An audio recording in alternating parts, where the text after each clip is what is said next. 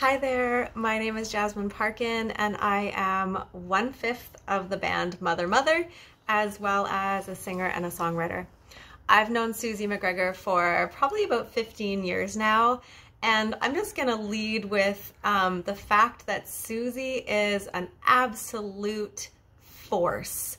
She is, the question is not, what can Susie do in this situation? It is what can't Susie do because Susie can do literally everything. Um, I am consistently amazed by her work ethic, by her ideas. Um, she's such a dreamer, but she's not just the type of person that can dream up the big ideas and then leaves other people to kind of execute the smaller and grunt work to get it to actually bring it to fruition. She's the person that can do it from start to finish.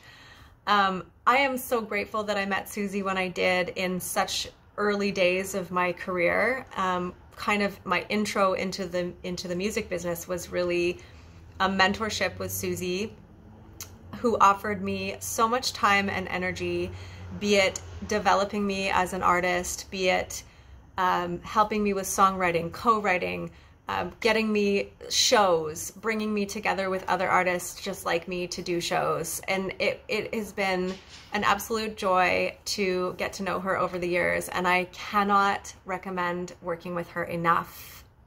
Do it.